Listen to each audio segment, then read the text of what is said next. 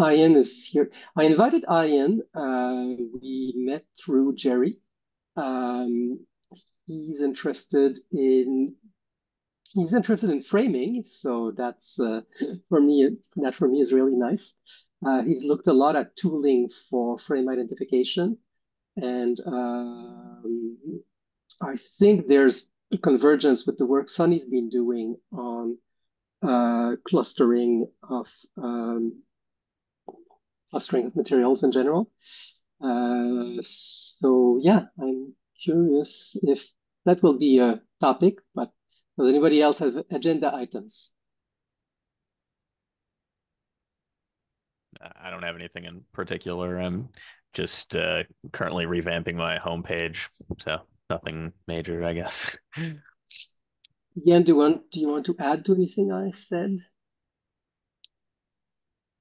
Uh, yeah, I can share my screen. I mean, I don't have anything super concrete to present, um, but I can work on making a presentation for for next month because it was kind of very short notice. Um, but I've been investigating framing, and I come from a microbiology background. And in microbiome, there's a bioinformatics tool that I'm not sure, maybe some of you have, have heard of it, NCBI Blast. And it's a, a massive database of genetic and protein sequences, some of which are annotated, some of which are not. And my idea was, well, I read George Lakoff's book about moral politics, metaphors, and framing. And Berkeley has done some work on making an annotated list of frames as well as their dependencies and their relations. And that turned into FrameNet. And I think there's a, a global FrameNet now where different teams have frames in different languages linked up to each other. And the, the idea was, well, there are 1,200 roughly frames in uh, in the current frame database, at least for the, the English version. And there's maybe 20,000 lemmas. And obviously with protein alignment, maybe there's a dimensionality of 20 for, for each sequence. Um, or each uh, space in the the sequence. I, I don't know how to. I don't know if I'm using the correct terminology here, the dimensionality is a lot higher because you have 1200 um, and but the the the general premise is well if i can align sequences based off of their structural similarity you can track the evolutionary relationship over time of specific frame sequences, let's say in speeches or in books. And then the idea was, well, how do I track these patterns? And then um, in Free Jerry's brain, there was also the um, discussion of, well, how do you how do you see the um, convergence of frames between different disciplines and how how could you link people together? Uh, there's also work that's been done by meaningalignment.org. They uh, came up with a tool to essentially do ranked choice preference on wisdom, as in here's a specific context, a specific complex problem. What do you recommend or what do you suggest an AI recommender tell a person who's asking the AI this question? And they'll solicit, okay, what's uh what's a story behind why like why did you make this recommendation? And then what experience did you have that led you to make this recommendation? And then there's a series of what they call values cards. And these values cards have attentional policies listed on them. So in a specific context, here's what I focus on as a person. And you can then compare people's suggestions in a specific context by presenting a person. This person changed their attentional policies from this to that um, after they were exposed to this this new set. Uh, did they become wiser? Yes or no? Or unsure? Then they ask, okay, why did you say that? So it's like um, I'd say it's pretty good at refining the um, the problem statement and the the context. So that's a way to survey and intake new information. And you could also combine that with a mixed methods way of soliciting new frames because obviously language isn't static. So if you have this pre-existing database, it needs to be open for, for further development. Um, and I was also introduced to uh, the canonical debate lab, which um, doesn't directly focus on the the frames, but I think the frames are a part of it. So that's um, I wanted to share. Hmm. I don't know if I'm rambling, but I, I, I am uh, I, am absolutely. Uh, I think this is all really interesting, but I want to make sure myself I'm understanding some of what you said. We had a long conversation two days ago, by the way. Yes. Um, the when you say uh, I had a quick look, I didn't have time to study in depth, but I had a quick look at the value alignment thing, and let me try to phrase my understanding, and you'll tell me if my understanding is correct because it's still I'm still trying to get it. Basically, given situations, mm-hmm. you would say I would prefer this action to that action because of this moral criterion.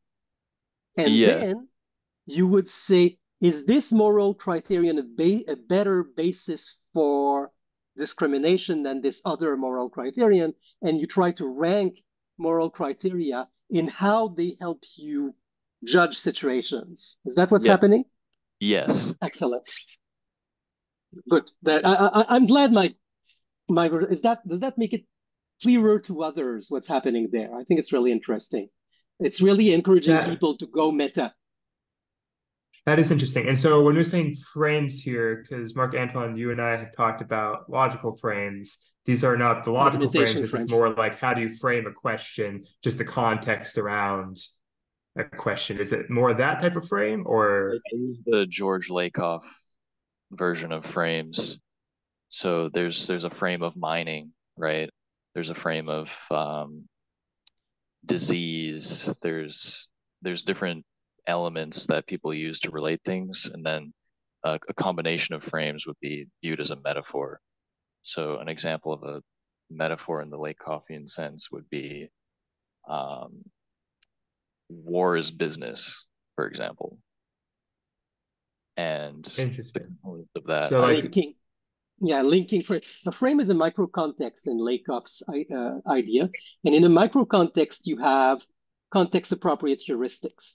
And then the metaphor is saying you can apply the heuristics of this micro context to this other micro context. Hmm. Yeah, I well said. Sorry. Um, you mentioned uh, FrameNet, I think uh, that has like a database of frames. Is there a way to like see individual frames there or yeah yeah, yeah. um let me let me drop that link just to help understand but, i guess but the, the framenet frames are much more micro frames than the Lakoff frames uh mm. i would say and, and that's the thing frame frame frame is a very polysyllabic term i think there's a common unity to all these definitions.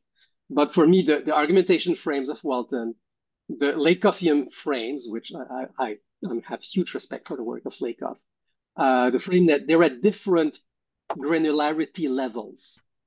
Uh, but they're all, this is a kind of typical situation, and you try to understand things in terms of that typical situation.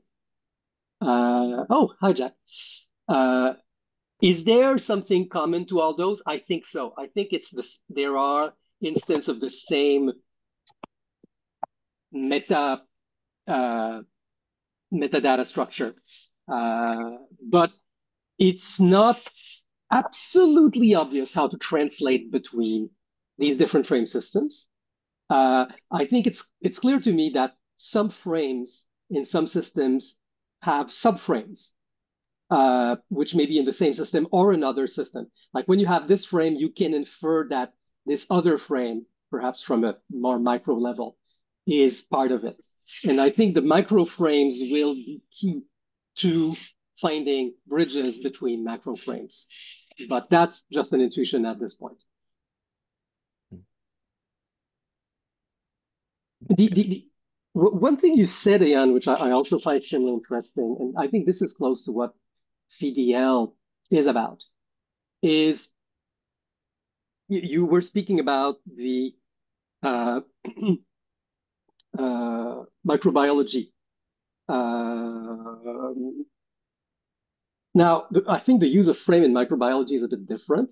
A frame is just, in a way, a section of DNA, and you can find a repetition of the same section so, elsewhere. So yes, right?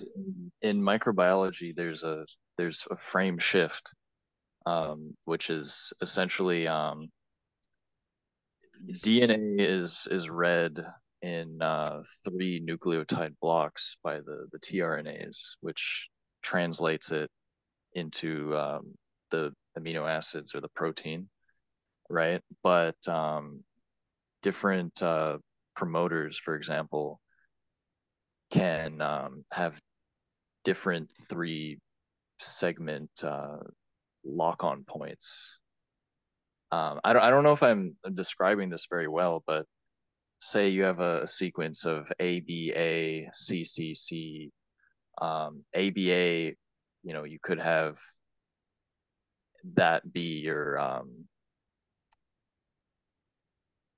the start of the sequence. Yeah, you can yeah, start yeah. the sequence. Ribosomal binding site, for for lack of a better word. But sometimes the the the ribosome doesn't bind uh, to that exact sequence. There's maybe some wobbliness, some wiggle room available, and you can then have it start at um, if the sequence was A B A C C, um, you could do B A C as the starting point. So this is going to change the uh, the proteins which are expressed, so you can get a completely novel protein or function based off of a frame shift.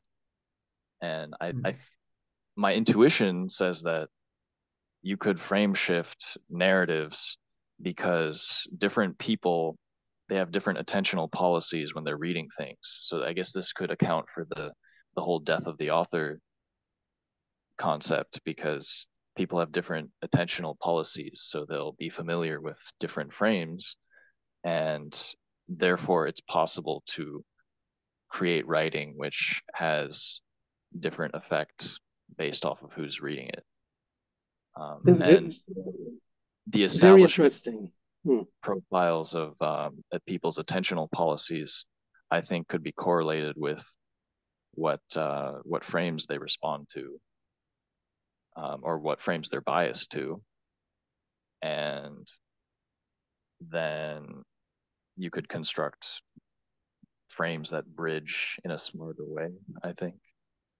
Very interesting. I, I wouldn't personally use the genetic frame shift as a metaphor for this, but where I totally agree with you is that when we interpret language, we interpret it using different frames depending on our repertory, personal repertory of frames. And that is partly personal, personal history, partly communities we belong to when we identify with and being able to understand that the same statement will be interpreted totally differently by different individuals and communities is fundamental to uh, hopefully improving uh, quality of conversation. And I think it's what you're talking about. But what I wanted to point out is you were speaking also about the databases of molecular genetics. And yes. the idea that can we, and that's been a question we've been asking a lot in CDL, can we give to statements a kind of uh, non-arbitrary uh, canonical signature so that we can do um, you know a unique uh, if two statements are saying the same thing in slightly different ways we would find that it can be canonicalized to the same signature, and hence it's the same statement, even though it has a different form. So I don't know if that's possible. It's certainly something we've been banging our heads against a lot. Uh, in the case of genetics, it's uh, certainly, uh, you know, language is given. Uh, in the case of expression, people come up with new expressions all the time. Mm -hmm. I do think the genealogy instinct is really interesting there, saying, can we trace how this statement evolved from this other statement, for, for how this frame evolved from this other frame? So rather than trying to achieve full canonicality, can we look at a genealogy of statements and, and, and as a way to guide, uh, you know, deduplication? I, I, I don't have a clear answer there, but definitely something I'd invite us all to to to explore. Certainly, for me, frames are part of the canonical signature aspect, but the the, the actors in the frame, uh, the concepts themselves, some of them we can are, are clear individuals, and we can give them unique identifiers if we want to. Uh, others are ideas, hence inherently ambiguous, Hence, there's going to be a multiplicity of identifiers. There's no way to close the, the identifier set, but that's another story. I think there's a way to get close to it with um, definition, definition lattice. That's something we didn't discuss days ago. Uh, a lot of concepts, I think, can have a signature made of what are the distinguishing definitional elements in terms of more consensual concepts. Uh, so there's a, a, way to approach canonicality of concept definition that way, uh, using using a lattice uh, feature lattice representation. But this I'm hand wave. I know I'm hand waving a bit. I think it's a path to a solution. It's not a full solution yet. Jack interpret through lenses. Yeah, lenses are frames. I think they're distinct. But but uh, seeing a lens is composed of the frames we use to decode what happens, I think, is valid. Um, the uh, yeah, uh, seeing a lens is built from frames, is, I think, is, is is an intuition I want I would want to pursue. Yeah, I I I like to use the term lens, um, because it's it's kind of like a perspective that you put on a flow of of resources through. And so there's little that that lens defines the pattern recognizers that are that are busy. And and some of them will fire and some of them will not. And so you might use several lenses if you're making machine reading but the, the point is is that that they tend to be filters for what you want to see. And and and and they will grab the frames that you want to, grab and ignore the frames you don't want to grab. That that's yeah there's another meaning of lens in computer science which is a two-way transform between two data structures. I was hoping to use lens to say oh this frame translates transparently to this other frame through this lens, or you know, maybe with some lossage. Uh, but the uh, that is another usage of frames, uh, of lens. Sorry, of the word lens. But I, I know I see what you're saying, and I certainly don't disagree with the substance. The well, the two are, are, are actually fairly close because you're you're you're you're taking an input stream and essentially transliterating it to what you want, uh, which is the other side. So in a sense, what the computer science definition is close to what I'm talking about. Like if you apply a person's like perspective as a lens, then like the output of that is like what they actually see in the thing they're looking at. That's my uh, point. Yes. Yeah. You know, yeah. a, an optical lens is going to distort the crap out of something in the distance, make what's close very, very, very bright, uh, etc. Whatever, however the lens is. It so so, but we're not talking physical lenses that literally distort the view. We're we're simply talking about computer science and filters. Yeah, but but the, the, the point I'm trying to make is there is basically there's these specific micro lenses that say this frame can be matched to that frame in this way. And there's the kind of overall filter, which is a perspective. I'd call that a perspective myself, which is saying these are the lenses are used because these are the frames I understand. So I'm using these lenses to interpret whatever message using the frames I'm familiar with. I like that a lot. The perspective being a collection of micro lenses works totally well for me. Cool. I think I think we're converging on language. not, I don't think we were distant on concept, but I think we're converging on language. Yeah, I don't think we were far apart at all. But uh, you know, I tend to use a sloppy language, and you've got a uh, lot. So do I. So do I. So do I. we've been we've been having these dialogues on both sides. Ian, do, do you recognize what you were saying and what I'm saying, or is that would you say it differently? Yes, I will say though it may still be an open question as to whether these micro frames can be assembled in an arbitrary manner or not. I, I think my my intuition says that that you know it shouldn't be completely arbitrary, but the, the idea would be to use simulated annealing to to test and verify this. Right. Maybe have like a, a focus group somehow. Um, but that's maybe later down the line. Ian, uh, uh, no, no, no, no, no. This is really important. How do we combine frames? What, what are, what are? I've been thinking about frame composition a lot. The uh, and and I'm not saying I have the answer. Annealing for me is a bit crude as a way to do it, but maybe I don't understand what you have in mind. So maybe I don't.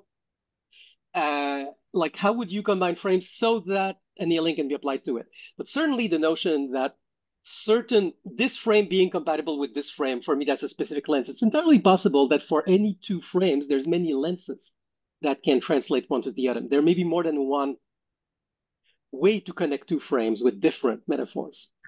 Uh, the so so a, a, lens a micro lens as a way to combine uh, to, to, to translate between two frames or to find correspondence between two frames is fine the question is what I don't think I think I agree with you. Not all frames can be combined. Uh, what frames are combined by whom? That's a cultural thing. Like we, you know, the culture has established that this frame can often be substituted for this frame in this way. Uh, can it be done arbitrarily? I doubt it. I'm sure there are also quote unquote anti lenses. We know we cannot translate this situation into that situation because there's also kind of constraint that's not a lens, that's something else. There's a constraint that you cannot translate this as that.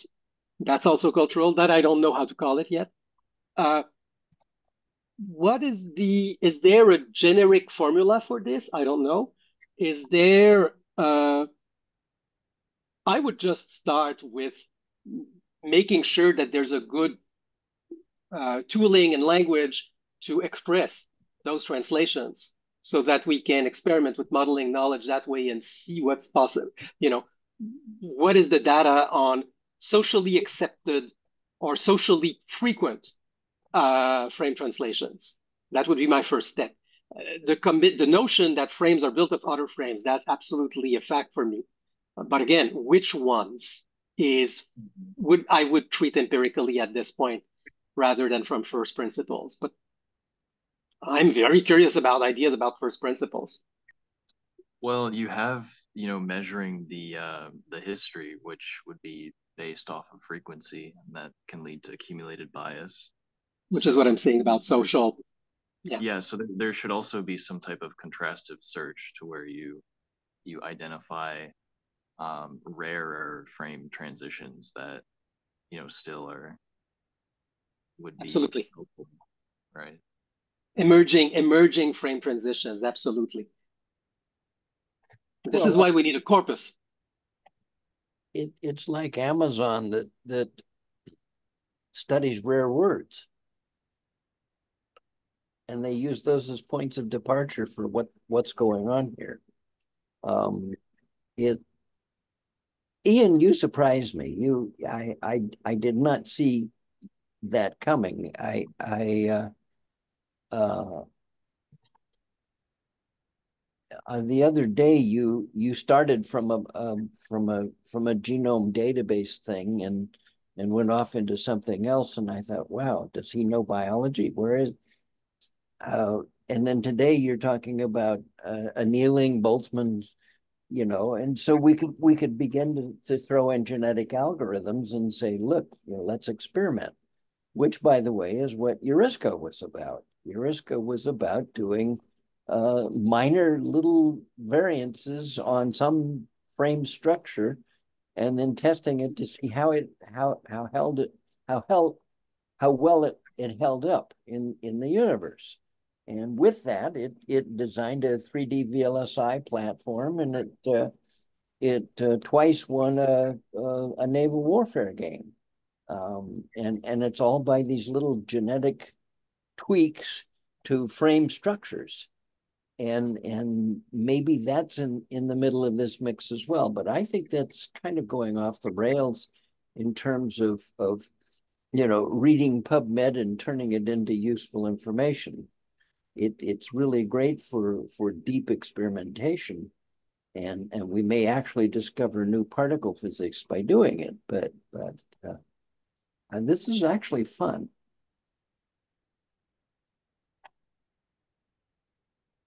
Well, thank you.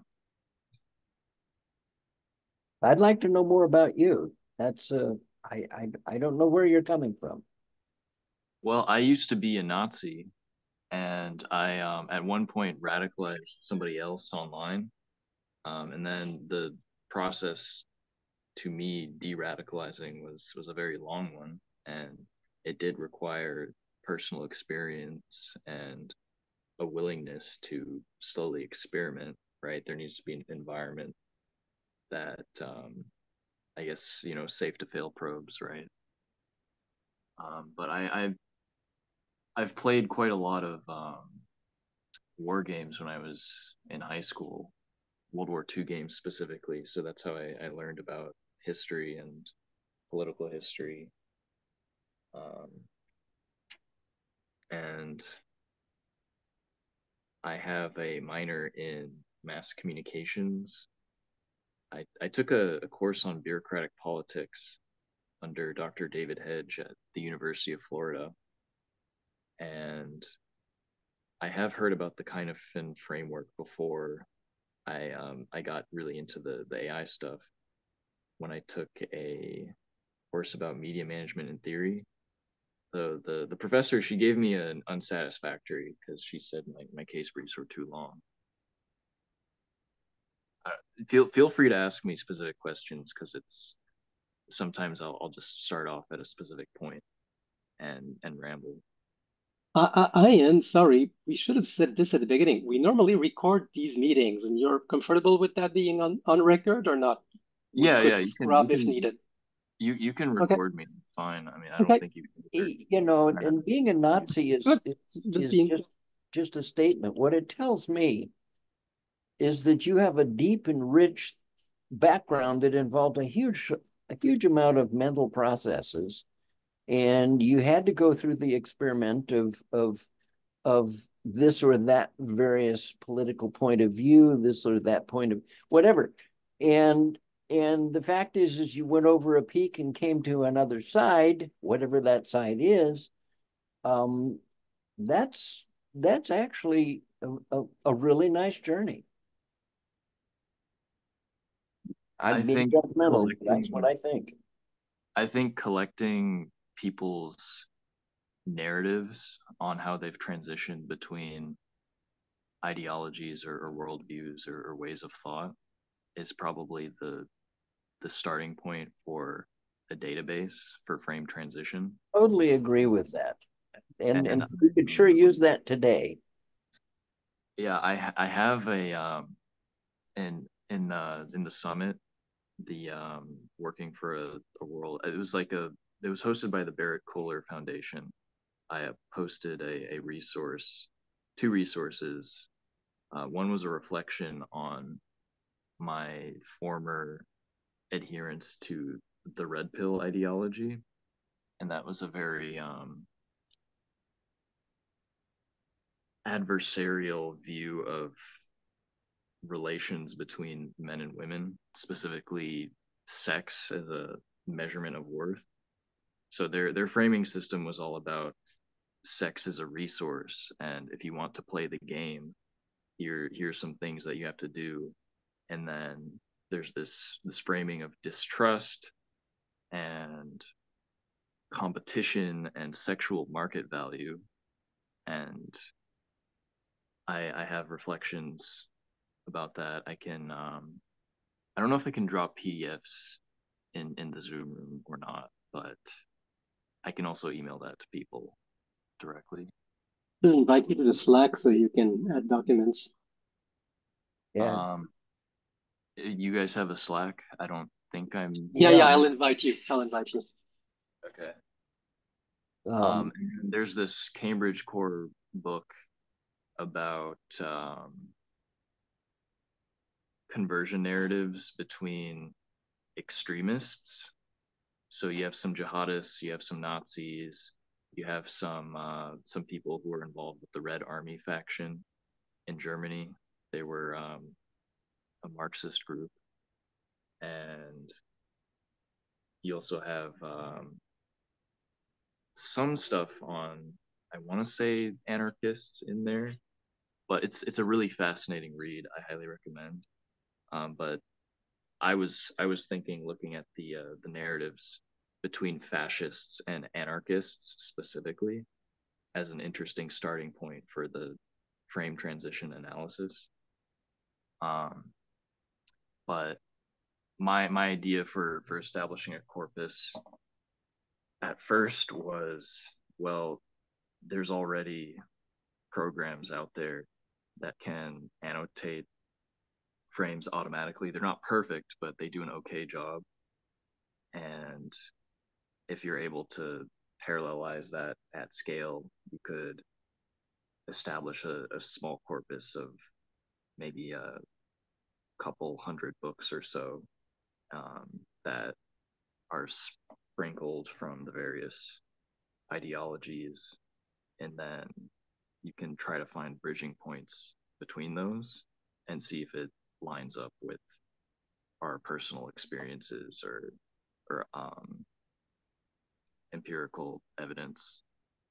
That that's a starting point but focusing on the conversion narratives directly would also be a valid path to take probably would save some time but i don't know what you guys think so the, the speech analysis would also be a good starting point.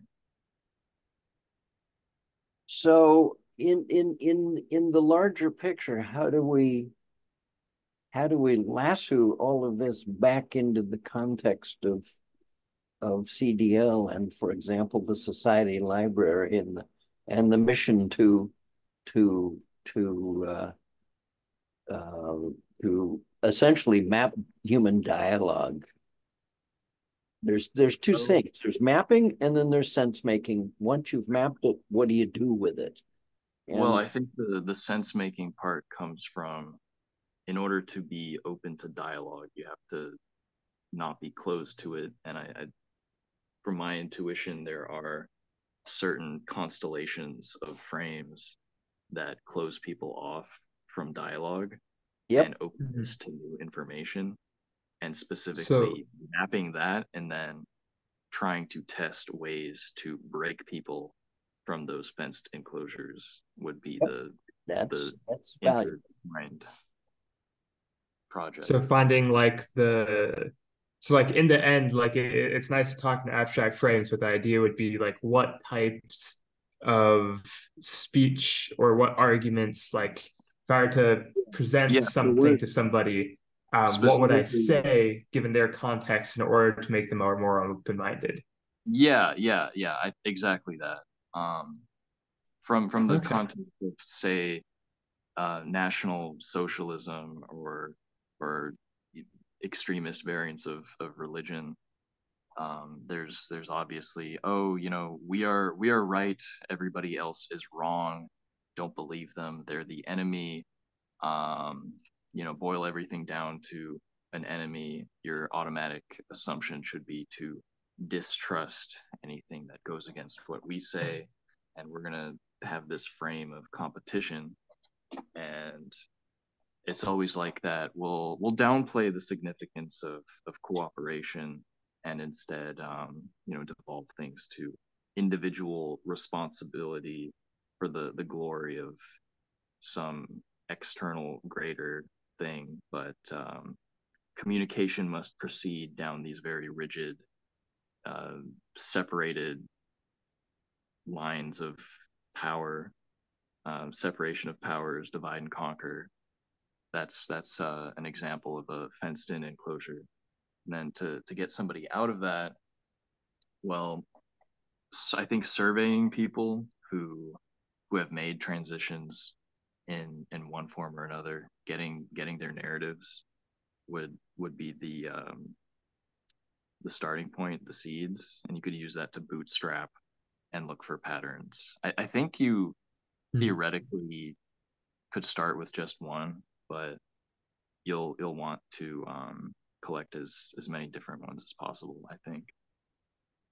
Because obviously people have the the different attentional priorities um, and and these these heuristics of what frames are they are they biased towards? Because if you if you say oh you know this this person is an enemy and then you you associate a frame or a, a way of speaking with with that you're um constructing a uh, learned thought termination cliche. So then how can you how can you bypass that? So it's that that's that's the kind of thinking that i have. Okay.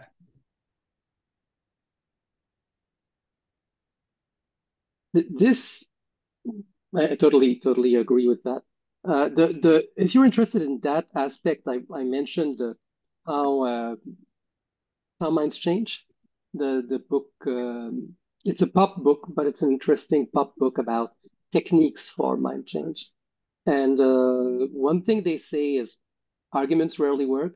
Uh, what does seem to work up to a point is to help people reflect on their own how they how they arrived at whatever position they're at.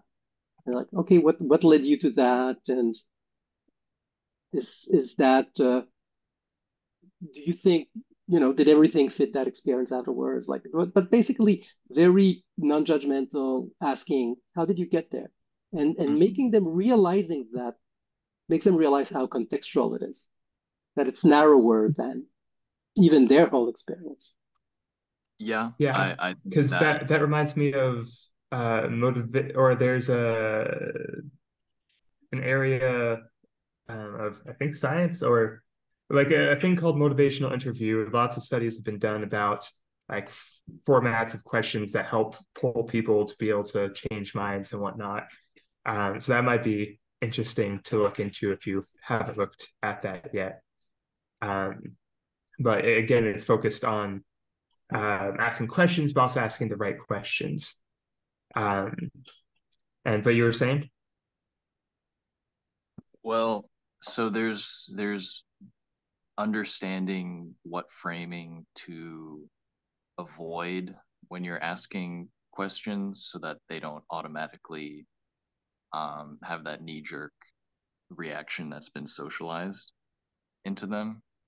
So that that would be the the word choice, and then the narratives I think could help um, illuminate the the types of questions that that people ask themselves when they're reflecting on because their their beliefs actually are or or when they're evolving their beliefs. Because giving people the chance to to reflect also and in a non-judgmental way i think is very helpful. Yeah because if, if if people say oh i believe this and then they completely refuse to talk to you or or hear you out or even um, give you the chance of reflecting, then that does promote polarization. I would say.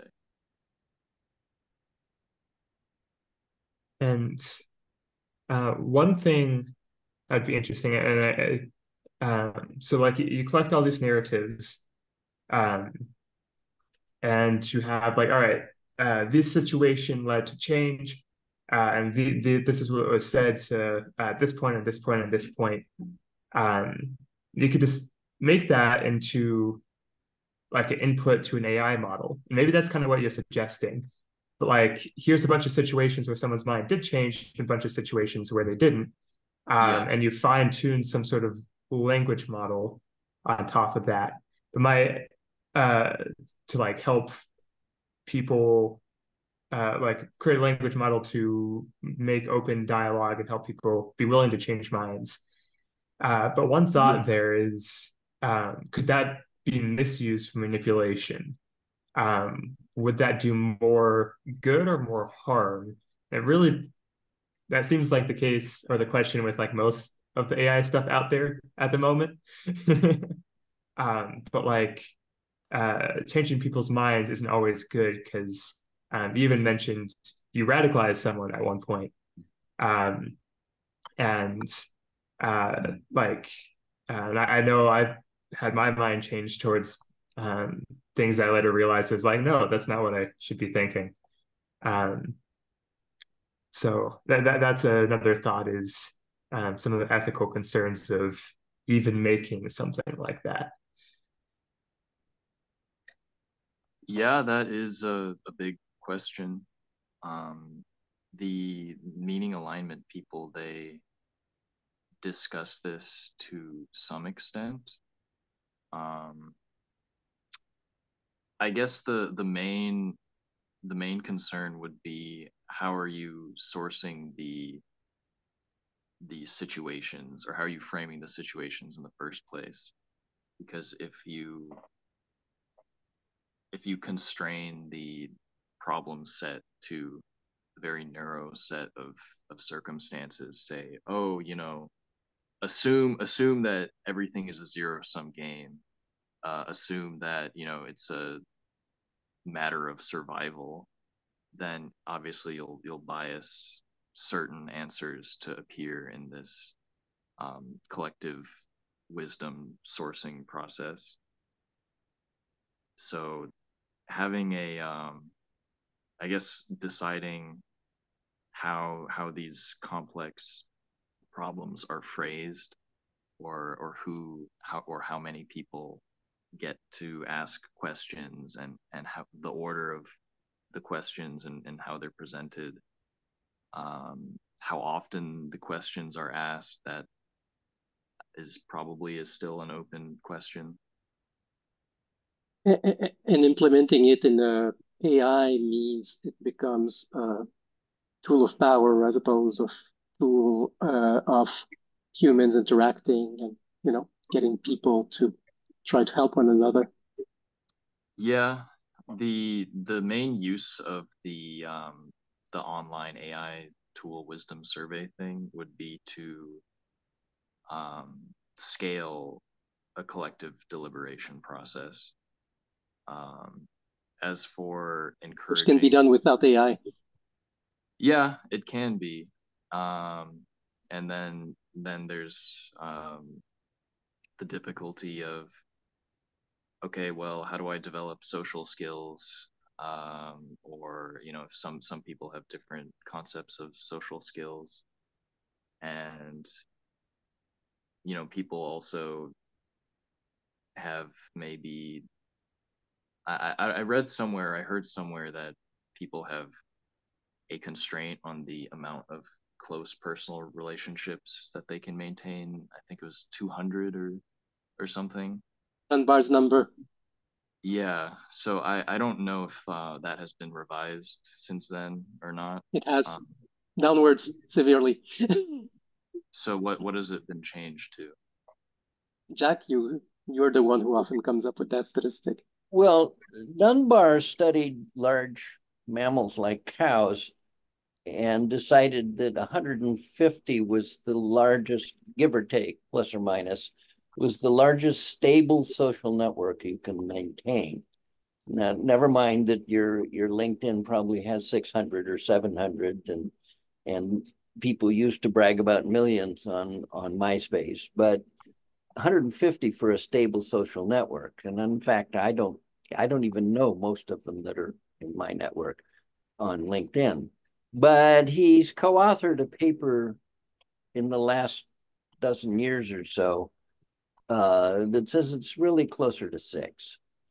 And what he says is, look, you can go more than that, but you have to break them up. And so you end up with you end up with committees or guilds in World of Warcraft. Uh, World of Warcraft is is the classic example of Dunbar at work. If they got more than 50 and there were only 10 roles to play, they would just split the guild and start over. Um, and and so uh, yeah, it's just not a lot. I, am I'm, I'm a bit skeptical of that. I must admit. Uh, the when Snowden uses the numbers, he, he he gives two different numbers. One is the kind of you know tribal scale people who know one another enough to basically to trust one another, to know whether to trust one another. Uh, and that is, you know, one to 200. It, some people are better at it than other and can go in the three, 400 range. Uh, I remember quoting Dunbar to my mother. It's like, I keep re- serious relationship with 400 people. I have to take notes, but I do it. um, but on the other hand, uh, and my wife's mother probably knows more than that. the, on the other hand, this is distinguished with a good team scale, which is closer to six to twelve, and after that, really cut and maybe maybe lower than that. That's, and that's, there, that's it's really a different number. It's a very different number. The, the people whom you can work as a team together is a very different psychological limit because you have to take ongoing count of all interactions on a that's what we care basis. And, yeah. and see when when when you, you you I I agree that in in in less complex tribal societies, you know, that didn't have the internet and didn't have cars and freeways and telephone poles and so forth, uh, you could you could easily keep track of of of a very large tribe. But when it came time to dealing with things, the tribal council was rarely more than a dozen or so. Yeah. The, the, the, but but yeah, but there is still something to be said to keeping things within a scale where you kind of know you kind of know people enough. Like in a in a bigger company, for example, teams will be small, but there's still the fact that until a certain scale, that's how um, the Velcro company works. They split after 150 following Dunbar's number. What that gives, what that does give you, is that you're likely to know who to go to for any given problem, which is hugely valuable. Yep. And that you can know at a much bigger scale than team size. And that's also an important number, basically.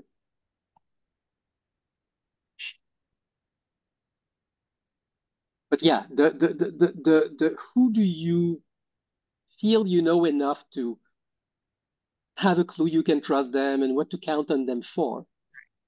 Uh, so then the it, question is how do you build trust at a systemic that, right? Absolutely. Absolutely. the, that the, is the question. That is the question. and, and and and how do you build trust when you have the reality that sometimes interests will diverge? The, the, the, I've been reading a politicologist uh, called Chantal Mouffe uh, she's Belgian. Uh, she's worked a bit with Podemos, but she's, you know, one of those high flight political theorists. And she's distinguishing uh, what she calls ag uh, agonism versus agonists versus enemies. And the idea is there are people who disagree with you, who may have, you know, they may want to pull the blanket on their side, but they respect that they have to work with you in a process to negotiate. Yep. So, for example, in, in traditional left-right politics, there would still be the notion that you know they will pull a bit on each our worldview, but we're still working within the confines of democracy and rule of law to uh, find something that's workable between us, as opposed to seeing the other as an enemy who threatens your existence uh, and who you have to eliminate to survive. Uh, and, and, and once you're in that dynamic, you're refusing to play the game, and you're not part of the political. It's not a political process anymore. It's a military process, maybe, or something like that. But it's an en- it's a it's an enemy process as opposed to an agonistics, uh, uh, you know, uh, adversary, a respectful adversary relationship. But do you respect the other, and are are you willing to enough to play the game with them, even if you disagree? And, and this is a different kind of trust. It's not trust that our interests will converge because maybe they won't, because people often will define themselves in contrast to someone else. And part of that is unavoidable in human identity. But can you trust the other to play the, the game honorably so that you're not uh, uh, degenerating into annihilative conflict? That, that I found that in a useful distinction.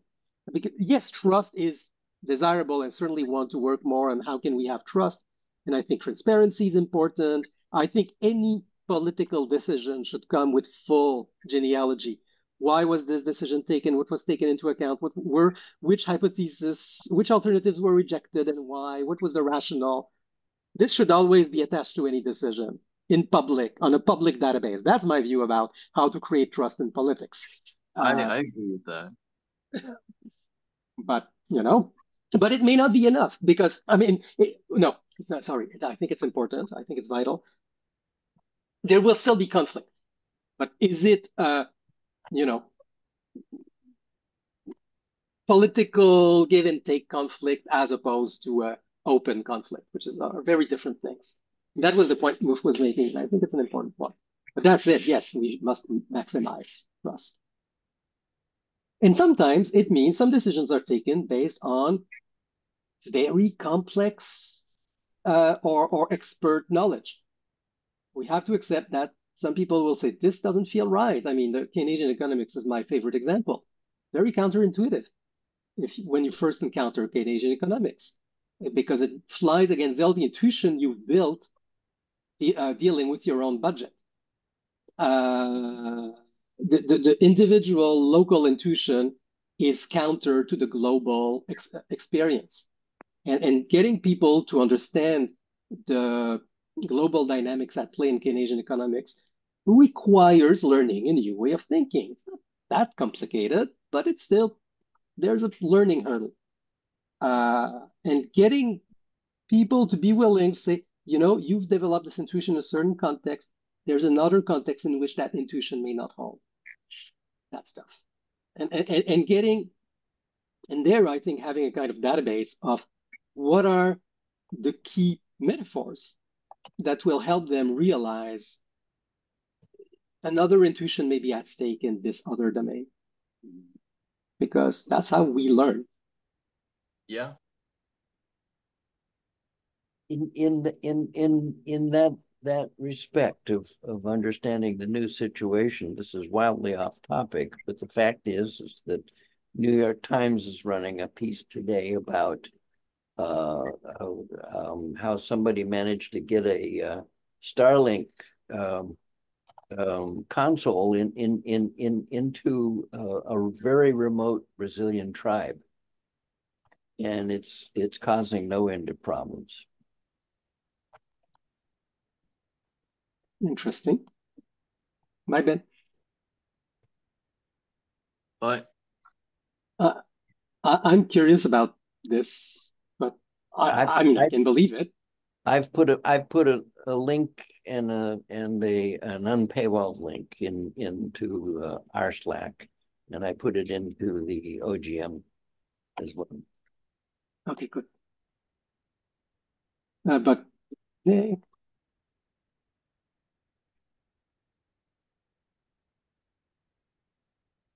So in terms of building a working prototype for the frame analysis, how how quickly do you think we could make something like that? That's a good question. We've been at it for a long while, and uh, I think we've been a bit paralyzed by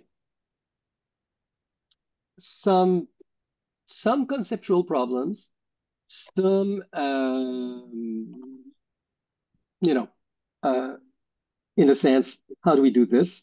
Some, I think one problem is we're all working on our own project. The projects are separate. Uh, one problem I've had is I've been trying to make boundary infrastructure, but some of it got on open source, and I need to reopen source part of it. Um, finding a way to all work on the same infrastructure to build things yes. is part of the issue. Uh, I, I'm I'm I'm desperate to have a proper common database, common data format for that kind of stuff, so we can start building those corpuses uh, and build on those common corpuses. Most of us have their own projects and have their own projects. I mean, the CDL community is very much coming at it from an argumentation frames point of view, uh, pros and cons. Uh, and, and, and I'm so happy that you're bringing in the Lakoffian frame perspective in this conversation. I've been pushing for it for a while, but I'm glad I'm not alone doing it. I'm not. I have pushed frames in general, not Lakoffian frames in particular, but Lakoffian frames are brilliant, of course. Uh, I do think smaller frames, like more micro frames, are more likely to combine well upwards. I think, but I may be wrong there. That's just an intuition. I think FrameNet is probably too granular, and and you could probably pull pieces out of it and make them more more micro. You're saying FrameNet is too granular? You mean too yeah. small? Too micro? I, I, I, I'm, I, what I mean is it's, it's, it's, it's not fine grained enough. Let me, let me rephrase that. Oh, interesting. They, they break out causality into about five categories, and there may be hundreds.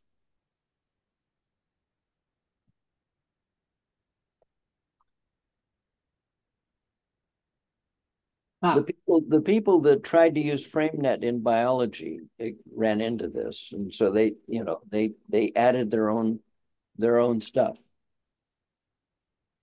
Yes, the the, the I think that one thing I certainly don't believe in is trying to come up with a closed catalog of frames, and that's what FrameNet was trying to do. What I think is what I my way forward instead of saying these are the frames and that's not let's all use those frames is be a bit more let people define their own frames if they want to and when they do so give the lens that translate those frames to other frames so that people can say okay these are frames i understand and let's do the translation. So the, the lens has to be part of the model for me to allow frame experimentation. Uh, to say, you know, these are the frames I get, these are frames I don't get, and then be exposed to, listen, this frame is really useful and you should add it to your toolbox. Uh, that, here's that's, how. That's, a, that's the topic mapping, mapping approach, which is, you know, you can define your frames in your topic map any way you want, but you've got to specify how I can read them and how I could merge with them. What kind of rules do you use for merging? And so you're, you, to me, you're describing a topic map mapper's issue. Well, with with transformers specifically, and all of these word embedding and encoding models that use relational data, um, what what do they use to to update I assume it's just the total combined usage and output from the internet and whether they're going off of frequency or not I, am not entirely sure because i haven't studied those architectures too closely. But i imagine that there's a, a similar problem in that instance. The, the, the, the big problem with neural network based architectures is you don't know what's going on. It's a bloody black box. We know that, as you said, they update from the whole net, but they have also to work hard to filter it, uh, to say, okay, we'll use this and not this, and they employ people, and that's very kind of a open secret, but they employ a lot of people to do a triage uh, of the data that they actually will use as a basis for training. And then sometimes they add, add training to an existing uh, weight set. Sometimes they retrain from scratch, but that is, that's expensive, of course. But the LLMs don't learn as such. They just uh, they get retrained with new data. Uh, but that's you know there's a big retraining event and then nothing, and then a big retraining event and then nothing. They don't learn anything from what they've done in between, for one thing. That's one way in which neural net architectures are nowhere near us in terms of learning. What they can do is do more and more abstraction from all the data they are fed. Uh, there's also an observation that they do more and more poorly as uh, more and more the, of the data they fed may have been generated by previous iterations of LLM. That poisons the well uh, in terms of LLM learning. Uh, LLMs should never learn on their own data. And, and of course, their own data is now all over the place on the net, so it's harder to get good training data now. Um, and and my problem is, you know, as I said, I want every decision to be justified and have a genealogy of what were the reasons for this. You don't get reasons from an LLM. You can ask for reasons, but those are hallucinations as much as the the the, the advice. The, the advice it gives is basically a synthesis of what people in the training set have said. And the reason will also be an average of what people in the training set have said. And sometimes that's good enough. And but sometimes it's uh, if it's a slightly off the beaten track problem, which whose terms were not exactly in the training set, then it will come up with something vaguely plausible as an answer and something vaguely plausible but possibly completely disconnected as a reason. Uh, I find that concerning from the point of view of let's have trust in the decisions that were taken. So the the LLM in, in this instance um, that I'm describing would just be used to ask the the questions and then help the the um the people that are being surveyed articulate their values or frames card or here are my attentional heuristics. That's fine, yes. The, the LLM as an interface to a data set, I'm perfectly fine with. Right. It's a great to have a conversational interface to a data set, but we need to have a good representation for the knowledge graph, and ideally a frame base so that it's understandable as such. Yeah, so, so that so this is the RAG game. Yeah, you're familiar with that, Ian? Uh, retrieval augmented generation. Yes. In other Sorry. words, in other words, they're they're fundamentally moving away from trying to use the stored domain knowledge of the LLM and use its its its conversational acumen to reach out into other sources, resources, including computations now. Um, and and and so this is getting much closer to what I think is is where we're going is is is that they the idea of training it on all the world's internet words is is useful in the following sense. It makes it kind of able to parse what you said and come up with something but what now they're trying to do is get it to come up with a hook into a, a knowledge graph or a query uh, into into a database or whatever to give you a better answer. And that answer can come from all sorts of of uh, of of uh, with with with a lot of traces. People so are beginning sounds, to drop. Oh, sorry. That sounds like what I'm. I, I'm the LLM in this situation, maybe. Also. Um, but yeah, you can you can continue. I, I just I just wanted to make that remark. there are ways in which we're LLMs. I mean, the, what I said about LLMs don't introspect and they don't know why they took a decision. It's true of us up to a point. Um, but just sorry, this is supposed to be a one-hour meeting. We're 10 minutes over. People are dropping off. Uh, I think it's as good a time as any to close this conversation. And now there's three of us, and we were going to have a separate conversation. And maybe we're already way into it, but let's uh, close the CDL part of this.